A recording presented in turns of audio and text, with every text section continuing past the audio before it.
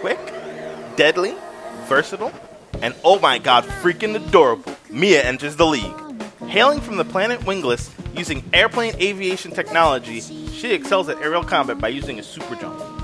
Her childhood friend, Ghost Rider, often referred to as Gochan, watches over her due to her careless flying habits and peppy attitude. I know you've been waiting for this, but hey guys, Epsy here. Today we're going to talk about Mia. Mia is a robot of the Assault class that focuses more on her sub-weapon damage and movement speed. She also carries 12% more resistance towards beam attacks, with a trade-off of negative 5% resistance towards physical attacks. Her main weapon is a handgun exclusive to her that starts at 5 force and ends at 13.4 force. At an ammo cap of 65, Mia's handgun is great for extended battles, but suffers due to its range only being 21. Her sub-weapon, the Twin Edge, is a melee weapon that deals physical damage. It starts at 11 force and at S rank can end all the way up to 26.2 force. The Twin Edge is also exclusive to her and will take up both her main and sub-weapon slots in order to use it.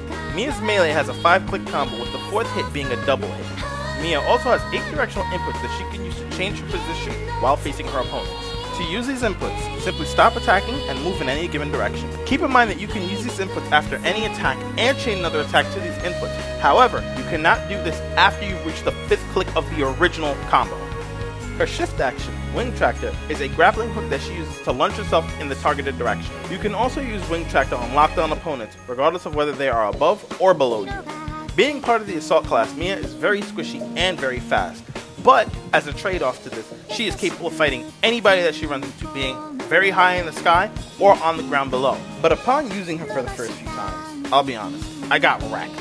I couldn't figure out how I was supposed to use her. She was so squishy, and she didn't do a lot of damage up front.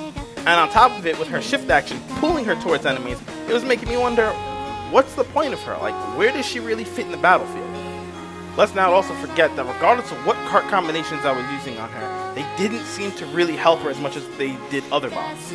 And even when I did win fights, most of the time after the battle was done, I had almost no HP left. Then, after winning a certain battle and having a ton of my HP left, while being one on one with that opponent, it finally started to click in how she was supposed to be used. At first, Mia seemed like the type of bot that's supposed to be used only on one on one fights versus opponents with very low HP. But when you think about it, that doesn't sound too right. I mean, can't any bot do that? So I can't really pass it off as a requirement for me. That just sounds like anybody can do that. But I did notice she fit the bill to another character that was very similar to her, but in a different game. Rengar, anyone?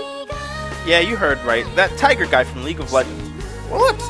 What are you talking about? What do you mean, the tiger guy? They're nothing alike. Hold on, just let me finish. They're both very squishy. They both chase opponents, and moreover, they're both melee type. Well, Epsy, what about Mia's low damage output you were saying earlier? Rengar doesn't do low damage, but you said Mia does.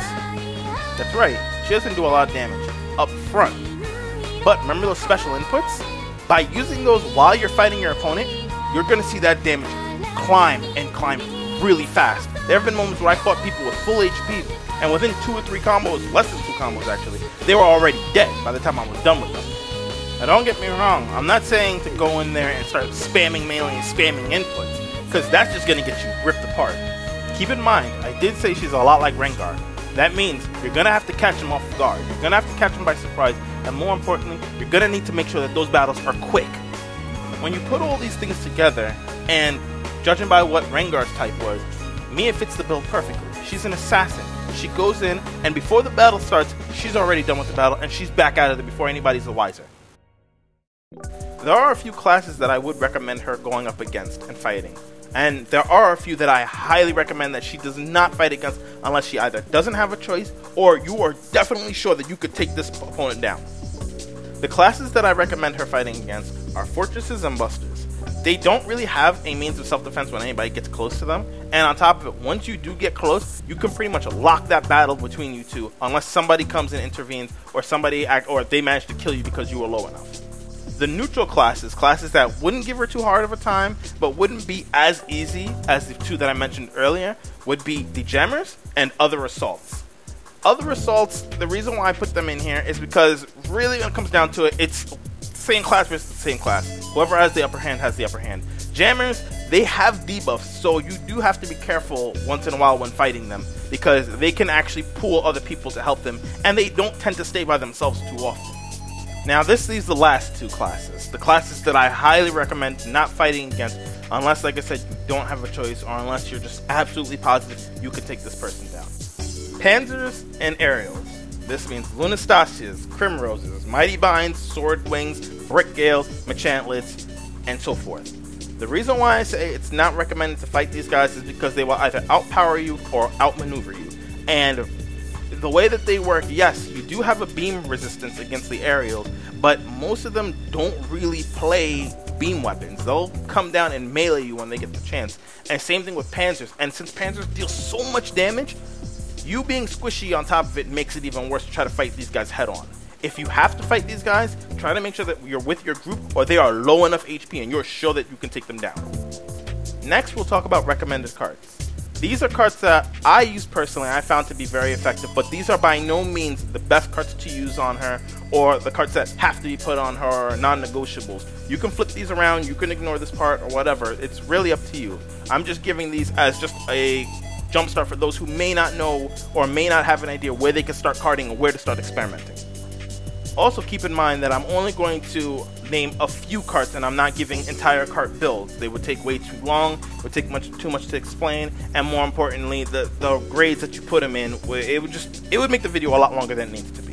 Some cards that I recommend are damage up, back damage increased by 10%, kick jump of any type, damage cut, 5% decrease of physical damage, and throwing plus, the one that does 10% extra damage when you throw an object. Mia is great to use and she's very unique in her playstyle, but the downfall to her is that you may not see her become effective until she hits around rank B. If you're looking for a new assault bot, I definitely recommend giving Mia a shot.